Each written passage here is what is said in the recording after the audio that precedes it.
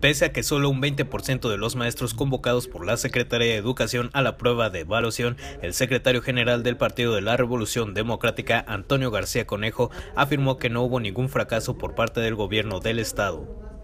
Hubo una asistencia cercana a los mil docentes, es la información que tengo, y yo creo que es un buen paso. Yo creo que hablar de cerca de mil docentes no es un número menor.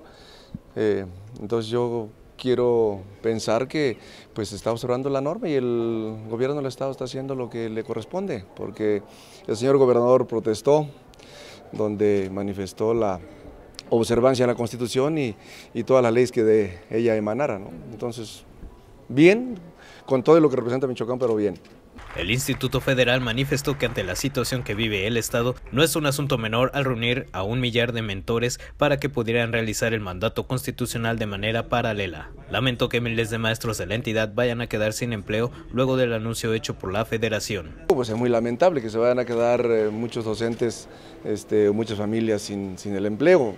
También se tiene la información que muchos maestros no acudieron o no llegaron porque fueron interceptados en el camino, los amenazaron. Eh, hubo obviamente resistencia ¿no? por parte de los que este, inconformes por los. Con imágenes de Daniel Gómez, información de Juan Pacheco, Agencia Cuadratín. Grupo de Oro presentó.